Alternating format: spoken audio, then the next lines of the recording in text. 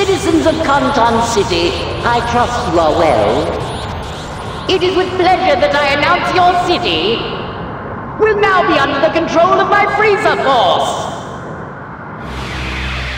I will not take no for an answer.